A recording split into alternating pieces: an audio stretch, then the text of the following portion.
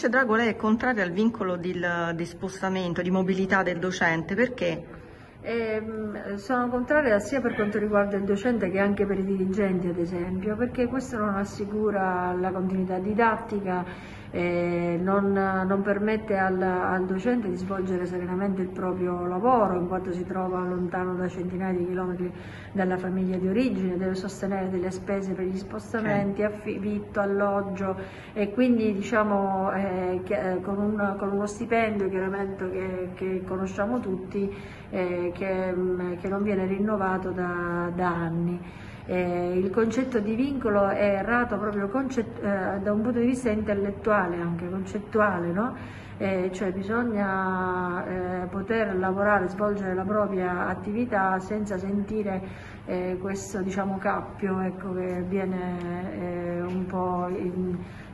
dire, messo proprio a livello eh, governativo. Questo fu deciso nel governo giallo-verde col vincolo quinquennale, ora ridotto a tre anni e adesso non hanno la possibilità di chiedere, nemmeno di chiedere l'assegnazione provvisoria eh, o l'utilizzazione.